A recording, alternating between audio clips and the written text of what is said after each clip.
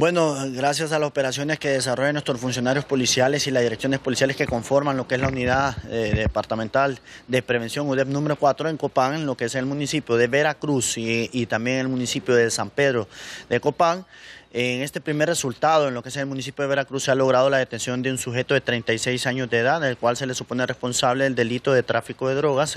y también eh, este se dedica a la misma venta y, distribución de la misma. Se le ha logrado decomisar como medio probatorio lo que son 20 puntas eh, de plástico transparente, contienen en su interior polvo blanco de supuesta droga, cocaína y dinero en efectivo. También se continúan desarrollando las investigaciones para verificar si este está ligado a alguna estructura criminal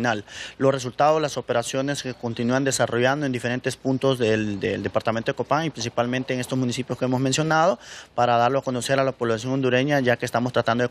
contrastar lo que es la comisión de diferentes ilícitos que generan violencia. Bueno, estos son trabajos que se realizaron mediante allanamiento de moradas gracias a los trabajos que desarrollan nuestros funcionarios policiales específicamente en lo que son nuestros agentes de investigación, de inteligencia, en el caso de la Dirección Policial de Investigaciones y también de DIPOL. Es mediante estos trabajos trabajos que nosotros logramos identificar y perfilar a estos individuos que se dedican a este tipo de ilícitos. Eh, esta persona ha sido enviada a la Fiscalía de turno para que se proceda conforme a lo que compete la ley del Código Penal y responda por el delito a la cual se le está acusando.